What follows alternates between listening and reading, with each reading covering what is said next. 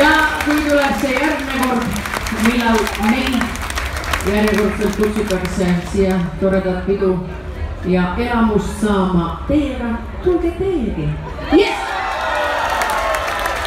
ja sellepärast on meie tänane viimane laul, sest et alati peab jääma mõni laul laulmata. me küll õpime veel mõned laulud ära ja järgmine kord, kui me tuleme, siis me teeme teile absoluutseid üllatusi, siin on minu vana tütared, kes on saanud siin üllatusi.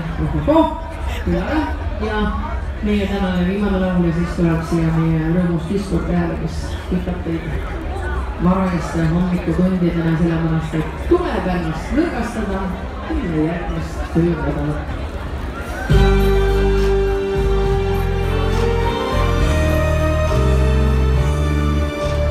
sulle kõik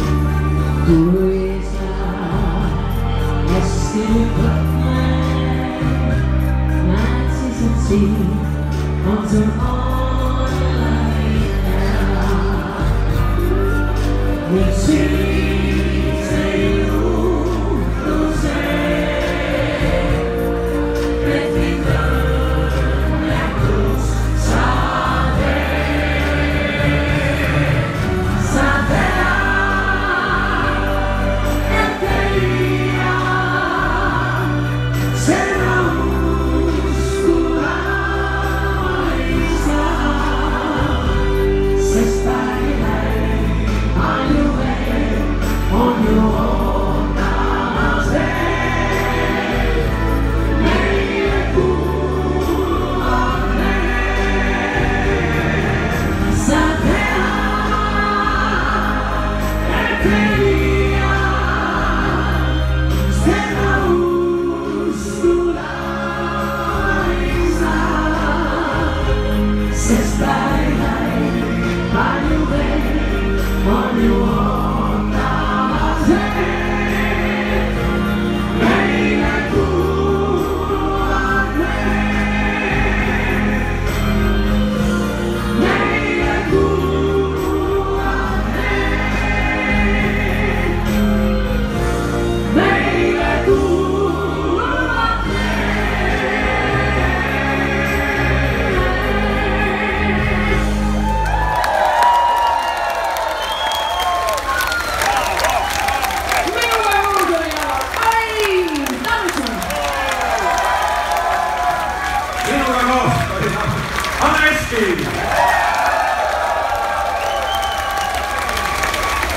Dios,